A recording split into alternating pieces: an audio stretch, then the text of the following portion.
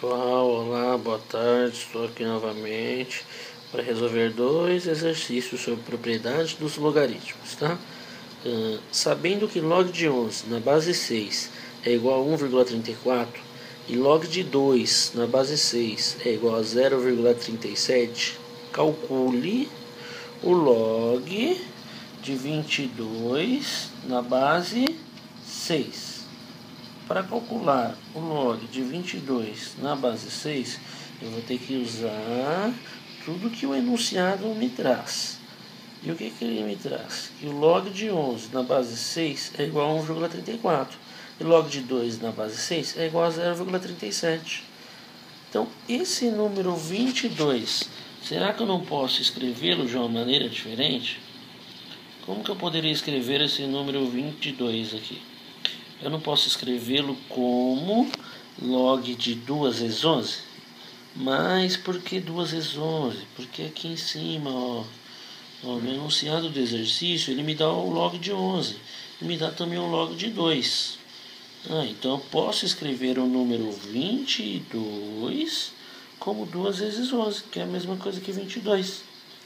Tá, agora a gente pode aplicar a propriedade.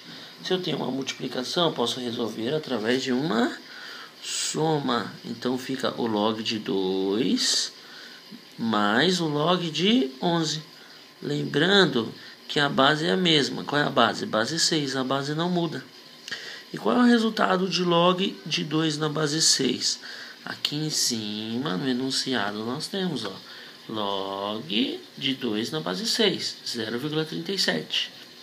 Então vem para cá e substitui, ó, 0,37 mais o log de 11 na base 6.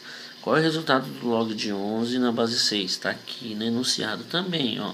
Log de 11 na base 6 vale 1,34. Então vamos substituir. Onde tem log de 11 na base 6, vou substituir por 1,34. Agora eu vou somar os resultados dos dois logaritmos. 0,37 mais 1,34 é igual a 1,71. Agora aqui, ó. Nesse exercício B agora. O log de 5,5 na base 6. Também vou me basear aqui no enunciado. Se eu tenho o valor do log de 11 na base 6 e o valor do log de 2 na base 6, será que esse 5,5 eu não consigo escrever com o número 11 e com o número 2? Claro que sim. Posso escrever 11 dividido por 2. Ó. Ó, 11 dividido por 2. 11 dividido por 2, gente, dá 5,5. Então, 5,5 e 11 dividido por 2 é a mesma coisa.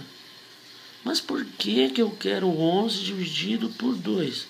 Porque quando eu tenho uma divisão, eu posso aplicar a minha propriedade. Qual é a propriedade? Da subtração. Então eu posso separá-lo escrevendo log de 11 na base 6 menos o log de 2 na base 6. Sabendo então que o log de 11 na base 6 é igual a 1,34 e que o log de 2 na base 6 é igual a 0,37, faço a conta entre eles então. Então fica 1,34 menos 0,37. No total vai dar 0,97. Daí, tá essa é a resposta do meu exercício. É, eu espero que vocês tenham gostado, tá? Obrigado. Até a nossa próxima videoaula.